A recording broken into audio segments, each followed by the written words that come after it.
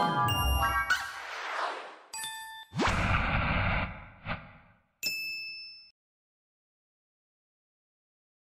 to this week's Lit Family video.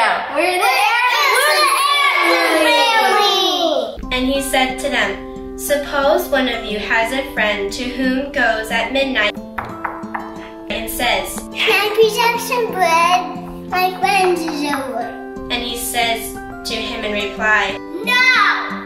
Do not bother me. The door has already been locked, and my children and I are already in bed. But I need it, please. I just got cold in my bed. If he does not get up to give the visitor the loaves because of their friendship, Can I please have some bread? he will get up to give him whatever he needs because of his persistence. Please, please, please. Ask and you receive, seek and you will find, knock and the door will be opened to you. This gospel starts with the Lord's Prayer. When you pray, say, Our Father, who art in heaven, A prayer we often say mindlessly, just rattling it off off the top of our heads.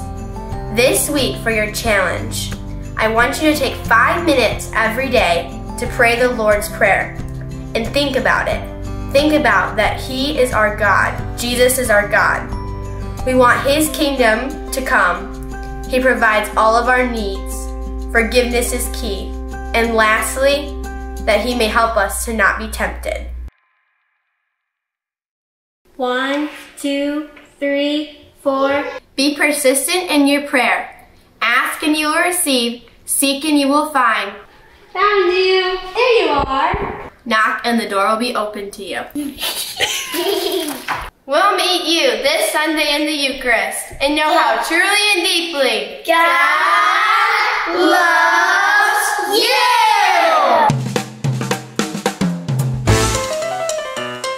We're Well- carrots and... Can I have some eggs? ah! Scorpion! It's a squirt! For everyone who asked